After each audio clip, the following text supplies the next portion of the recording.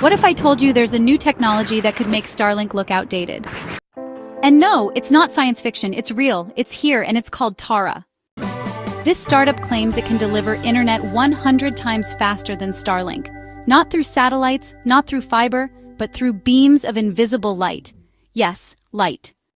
Developed by Alphabet's Moonshot Lab, the same company behind Google, Taara has one mission connect the world faster and cheaper than anything before it. How?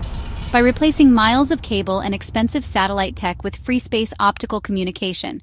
Basically, laser speed internet from point A to point B with zero wires. Fascinated by revolutionary tech like this? Then hit subscribe and turn on the bell for more cutting edge discoveries, wild stories, and the future revealed right here on our channel.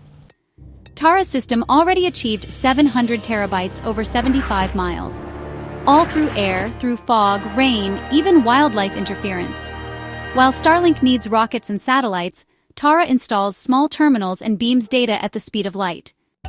It's currently being tested in India, Kenya, and across Asia, and the results are stunning. In places where fiber is impossible and satellites are too expensive, Taara could bridge the digital divide. The goal? A globally connected world with near zero latency, massive bandwidth, and a price tag that undercuts the competition. The future of internet may not be above us. It could be right in the air around us. Check the full article. The link is in the first comment below.